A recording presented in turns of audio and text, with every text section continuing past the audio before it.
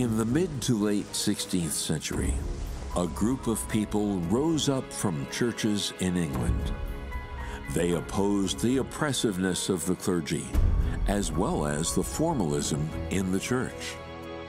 They sought a pure religious creed, a pious life, a holy church, and a free nation. They were called the Puritans.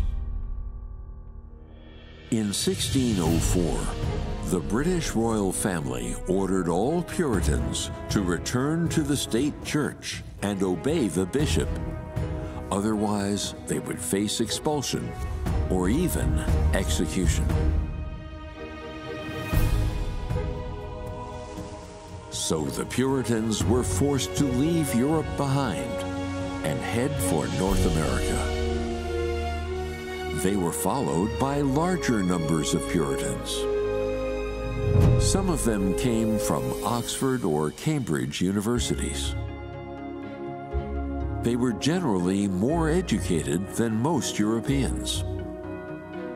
They advocated for the concepts of autonomy, equality, and democracy, as well as God's teachings. They infused the United States Declaration of Independence and the American Constitution with these values.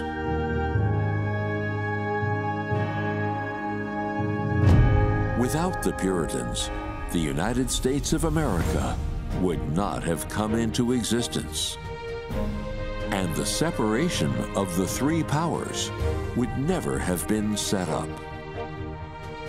So not only were the Puritans the cornerstone of the establishment of the USA, they were the pioneers who made America strong.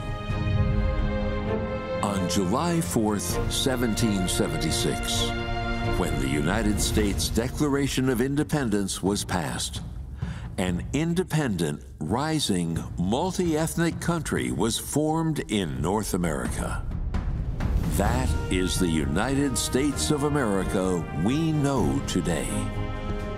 George Washington, the first president of the United States, said, It is the duty of all nations to acknowledge the providence of Almighty God, to obey His will, to be grateful for His benefits, and humbly to implore His protection and favor.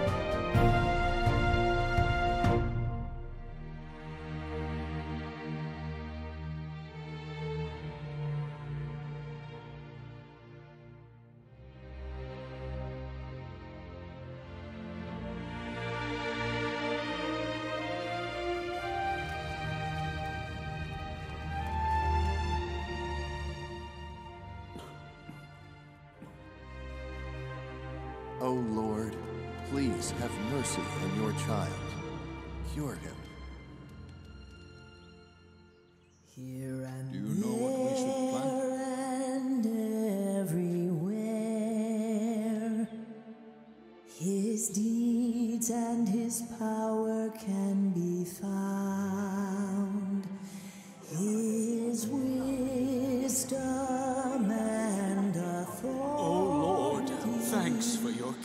Everywhere. O Oh, Lord, thanks for your grace and blessing. You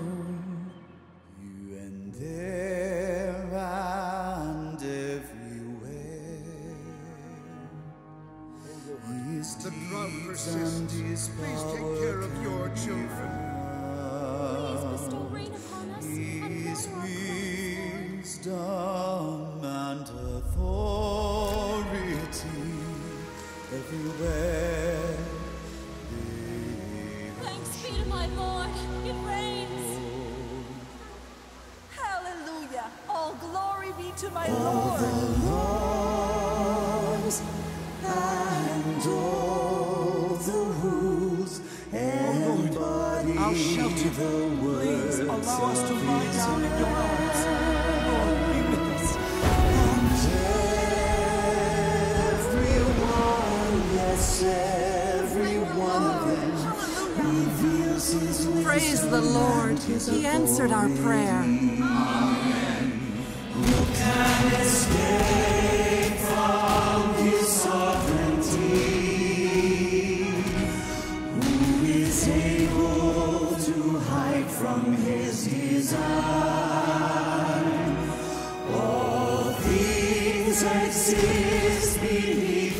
gaze. All creation dwells beneath his mighty reign.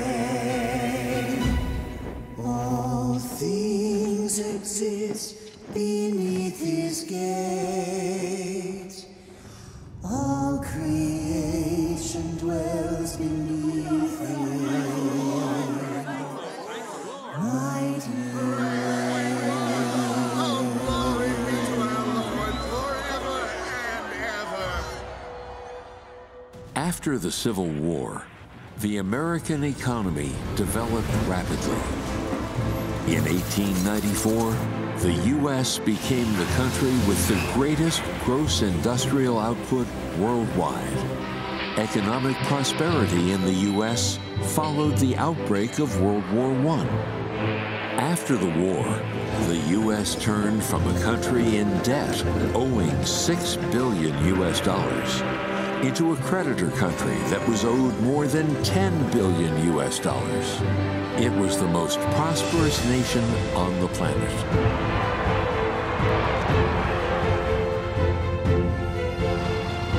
After World War II, America's military strength continued to grow, and it established more than 5,000 military bases all over the world.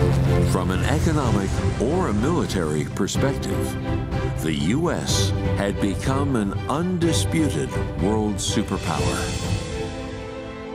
This established its political position in the world.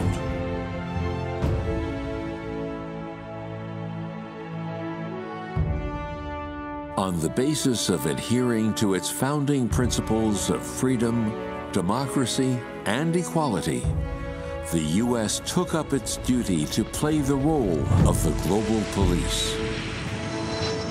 So the U.S. has continued to intervene and interfere with world trends to effectively curb the expansion of authoritarian forces and to protect large numbers of people from all walks of life who have been persecuted for religious or political reasons. Has also greatly contained the spread of various evil forces and weakened the damage done to mankind by evil forces.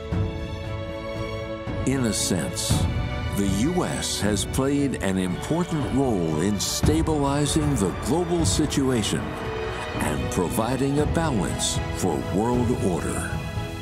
It plays an irreplaceable role in safeguarding and stabilizing our global situation.